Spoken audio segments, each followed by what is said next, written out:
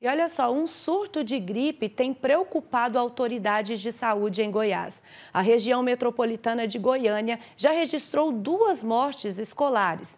E voltou aí, é, eu vou voltar agora com o Fernando para justamente falar sobre esse assunto para a gente. Fernando, já duas mortes e um surto de gripe, o que, que é isso, hein?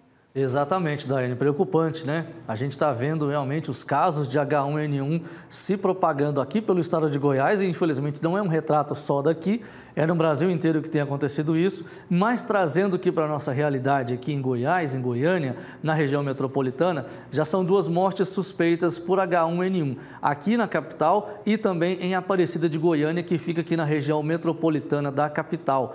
Segundo a Secretaria de Saúde, mais de 20 casos já foram registrados em escolas da rede particular de ensino aqui da região metropolitana.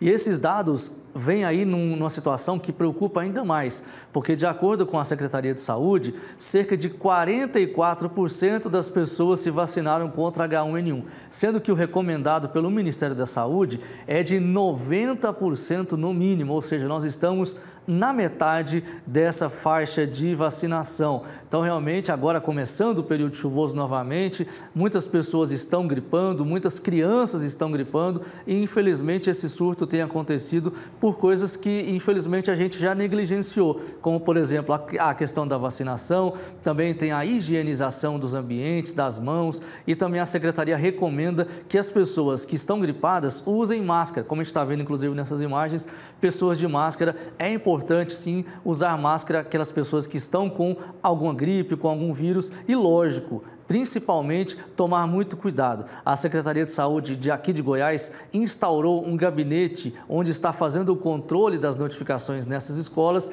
e a Secretaria incentiva mais uma vez a situação da vacinação. E esse alerta ele é preciso ser dado não apenas aqui para o estado de Goiás, mas para todo o Brasil. Nós temos uma baixa cobertura vacinal em relação a H1N1, a outras doenças também, então é preciso que as pessoas se vacinem, porque as doenças não estão brincando, viu, Daiane?